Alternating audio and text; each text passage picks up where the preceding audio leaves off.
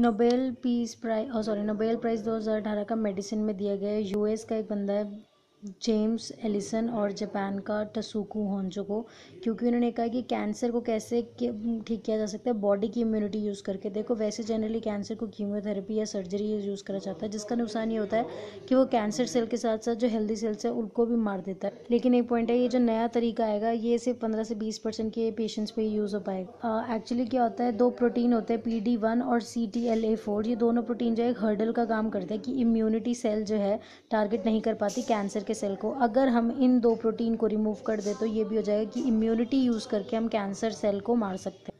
Next है air safety oversight score के बारे में देखो इंटरनेशनल सिविल एविएशन ऑर्गेनाइजेशन ने ऑडिट करी तो कि एयर सेफ्टी की मतलब को कैसे ओवरसाइड कर दिया जाता है उसके बेसिस पे स्कोर दिए गए।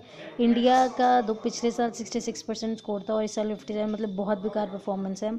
हमारे जो नेबर्स हैं जैसे बांग्लादेश ने, नेपाल पाकिस्तान म्यांमार उनसे भी हम बहुत नीचे देखो रीज़न ये हो सकता है कि इंडिया का इतना बेकार स्कोर आने का क्योंकि जो हमारे यहाँ पे एयर ट्रैफ़िक कंट्रोलर है, वो एयरपोर्ट अथॉरिटी इंडिया के भी अंडर आता है। जो एक इंडिपेंडेंट बॉडी नहीं है, वो गवर्नमेंट की बॉडी है।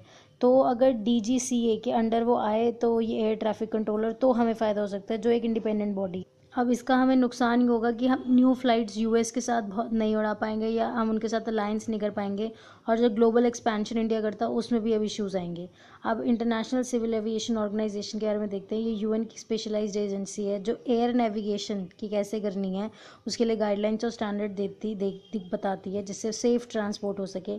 इसके हेडक्वार्टर मॉन्ट्रियल कैनेडा में लोकेटेड है और ये शिकागो कन्वेंशन को जो नाइनटीन में आई थी, उसको बढ़ावा देने के लिए ये आई थी। उसके लिए ये बॉडी इस्टेब्लिश करी गई थी।